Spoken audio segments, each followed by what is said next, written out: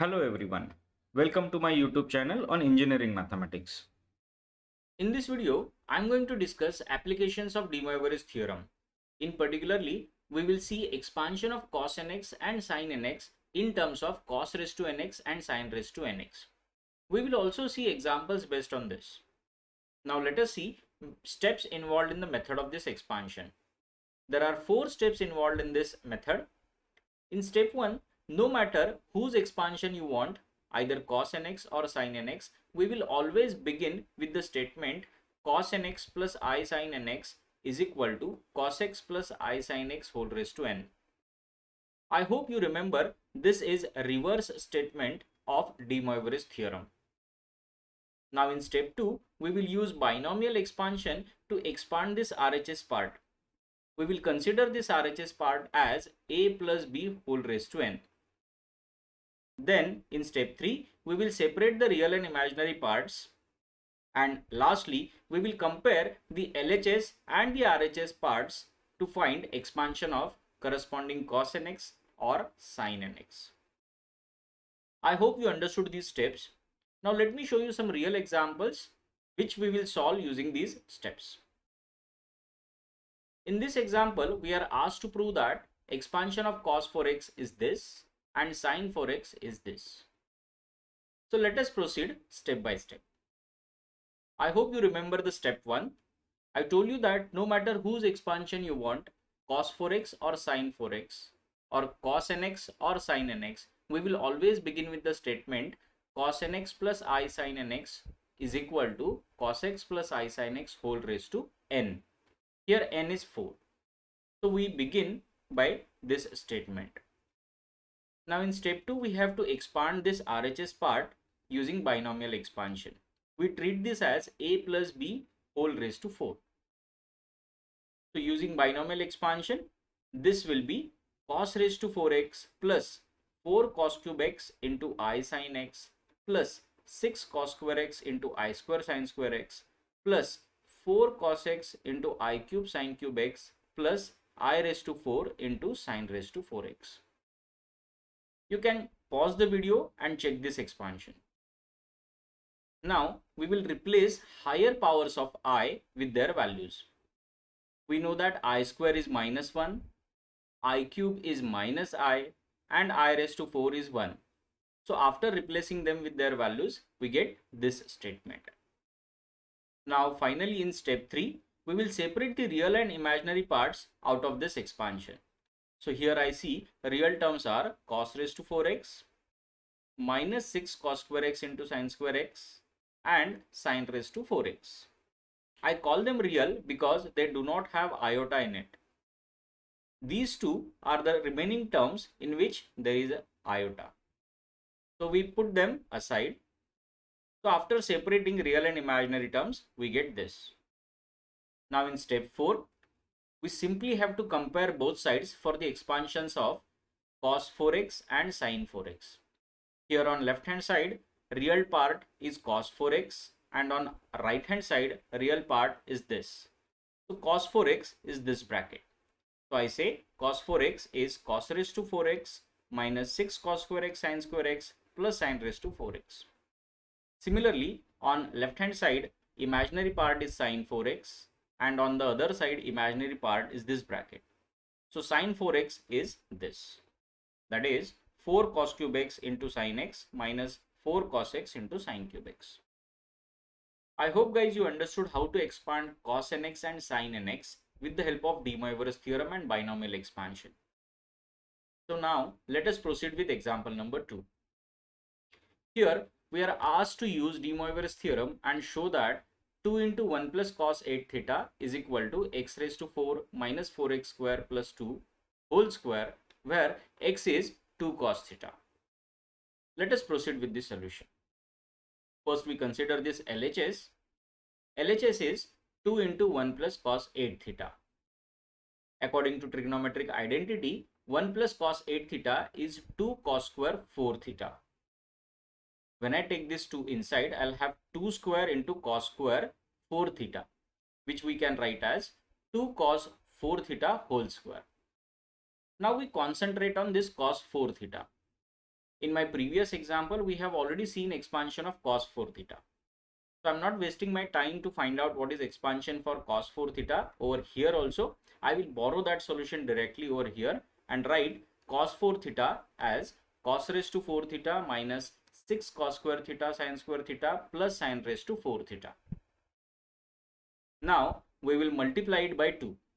So 2 cos 4 theta will be 2 cos raised to 4 theta minus 12 cos square theta sine square theta plus 2 sine raised to 4 theta. Now we will replace this sine square theta with 1 minus cos square theta because trigonometric identity says sine square theta plus cos square theta is equal to 1. So sine square theta is 1 minus cos square theta. This sine raised to 4 theta can be written as 1 minus cos square theta whole square. Now we open these brackets and we multiply this cos square theta inside this bracket and we will write this 1 minus cos square theta whole square using formula of a minus b the whole square which says a minus 2ab plus b square. Let us open this bracket also. Now we combine the terms having same degree. So we have here 2 cos raised to 4 theta plus 12 cos raised to 4 theta plus 2 cos raised to 4 theta which contributes to 16 cos raised to 4 theta minus 12 cos square theta minus 4 cos square theta contributes to minus 16 cos square theta. Finally, we left with only one constant 2 that we write as it is. So 2 cos 4 theta is this. We substitute this value of 2 cos 4 theta over here. So we get 2 into 1 plus cos 8 theta is equal to 16 cos raised to 4 theta minus 16 cos square theta plus 2 the whole square. Now let us write this 16 cos raised to 4 theta as 2 cos theta whole raised to 4. This 16 cos square theta can be written as 4 into 2 cos theta square plus 2 as it is and whole square outside. Now I am going to su substitute x is equal to 2 cos theta in this. So when I put x is equal to 2 cos theta over here, I get 2 into 1 plus cos 8 theta as x raised to 4 minus 4x square plus 2 the whole square as required. Hence proved. I hope guys you understood this solution. Now let us proceed for example number 3. Here we are asked to prove using De Moivre's theorem that sine 6x upon sine 2x is equal to 16 cos raised to 4x minus 16 cos square x plus 3. Let us proceed with the solution. We know no matter whose expansion you want, cos nx or sin nx, we have to begin with the statement cos nx plus i sin nx is equal to cos x plus i sin x whole raised to n. Here n is 6. Let us first find out expansion for sin 6x. So we have to take n is equal to 6. So by De Moivre's theorem, cos 6x plus i sin 6x is equal to cos x plus i sin x whole raised to 6. Now in step 2, we have to expand this RHS using binomial expansion. We treat this as a plus b whole raised to 6. So you can draw the Pascal triangle in rough to find out the coefficient in the expansion. Then you can write the expansion in this way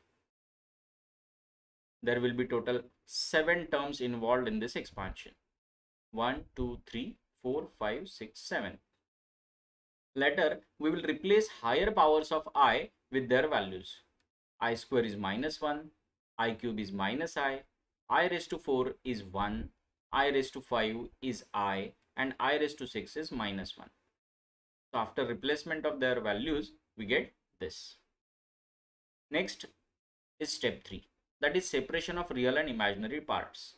So here real parts are cos raised to 6x minus 15 cos raised to 4x into sine square x plus 15 cos square x into sine raised to 4x minus sine raised to 6x and imaginary parts are the remaining terms. Since we want expansion of sine 6x, we will focus or compare imaginary parts of both the sides of this equal to sign. So here imaginary part is sine 6x and on the other side imaginary part is this one. So after comparison, we get expansion of sine 6x as this one. I hope guys you understood this part. Next, we have to find out value of sine 6x upon sine 2x. So we divide both sides of this equation by sine 2x. On left side, we divide it by sine 2x and on right side, we divide it by 2 sine x cos x. This is a trigonometric identity which says sine 2x is equal to 2 sine x cos x. So after division on both sides, we get here it will be 3 cos raised to 5x that sine x sine x will get cancelled. And 1 cos will get cancelled. We'll have 3 cos raised to 4x similarly 1 cos from here 1 sine from here will get cancelled. And this 20 by 2 becomes 10 so we have minus 10 cos square x sine square x. Same thing happen over here. Can you tell me the answer for the next term? Yes. It will be 3 sine raised to 4x now this is the value of sine 6x upon sine 2x. Now if you pause the video and go back, you will see that this is not the required RHS that we want. We see that all the terms involved in that RHS are cosine terms. So we have to replace those sine terms with those cosine terms. For that, we have to use this identity which says sine square x is equal to 1 minus cos square x. So after replacing these sine square x with 1 minus cos square x, we get LHS is equal to this. We will open this bracket over here and we'll take this 10 cos square x inside. This one can be expanded using a minus b whole square formula. Like this, a square minus 2ab plus b square. Now finally after opening the bracket and simplifying, we see sine 6x upon sine 2x is this. Now we combine the terms having same degree like 3 cos raised to 4x plus 10 cos raised to 4x plus 3 cos raised to 4x contributes to 16 cos raised to 4x. Now minus 10 cos raised to 2x minus 6 cos square x contributes to 16 cos square x. Now there is only one term left that is constant 3. Now we see that this RHS that we found now is exactly similar to the required RHS. Hence, we say that answer is proved.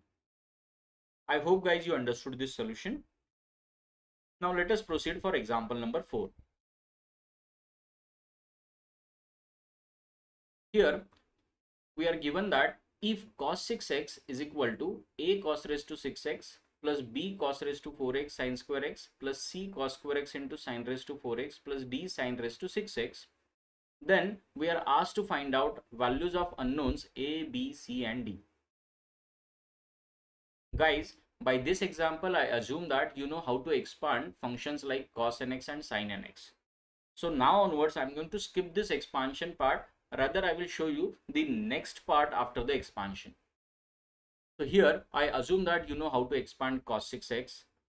In fact, we have seen expansion of sin 6x in my previous example. In that example, if you compare real parts, you will see expansion for cos 6x. So we know expansion of cos 6x is this one. This equation I borrowed from the previous answer. So this is the expansion of cos 6x. All we have to do now is we have to compare this expansion of cos 6x with the given expansion of cos 6x. So after comparing it, we see that A is 1 B is minus 15, C is 15 and D is minus 1. These are the values of the unknowns A, B, C and D. I hope guys you understood this part as well. Now let us proceed for example number 5. This is the last example in my video. Here we are asked to prove using De Moivre's theorem the value of tan phi theta is equal to this. This is a huge expression now, to find out expression for tan phi theta, the idea is you first find out what is sine phi theta and cos phi theta. Then you divide both the expansions to get tan phi theta. So let's do that.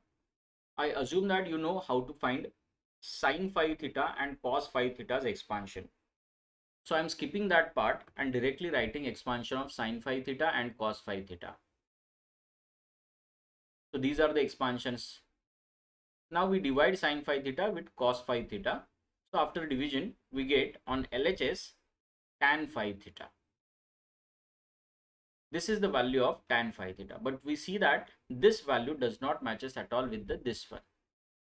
In this expression, we see there are all tan functions so we have to bring tan functions by any means over here. So to do so, I see that these constants matches with the constants in this expression. So we have 5 here, we have minus 10 here, we have 1 here. All we want is tan functions instead of these sine and cosines. I see that here we have tan raised to 5 theta and here we have sine raised to 5 theta. So this tan raised to 5 theta can be obtained from this if we divide this by cos raised to 5 theta because sine upon cos theta is tan theta. So we will divide numerator as well as denominator by cos raised to 5 theta. So after dividing here we get, we get 5 tan theta minus 10 tan cube theta plus tan raised to 5 theta upon cos raised to 5 theta upon cos raised to 5 theta will get cancelled. We will left with 1 here minus 10 tan square theta plus 5 tan raised to 4 theta as required. Hence proved. I hope guys you understood how to expand cos nx and sin nx types of function in terms of cos raised to nx and sin raised to nx. In my next video, I will show you how to expand cos raised to nx or sin raised to nx in terms of cos nx and sin nx. So till then, keep watching my videos. Thank you all of you. Thank you for watching this video. Please subscribe my YouTube channel and press the bell icon to get updates about my new videos.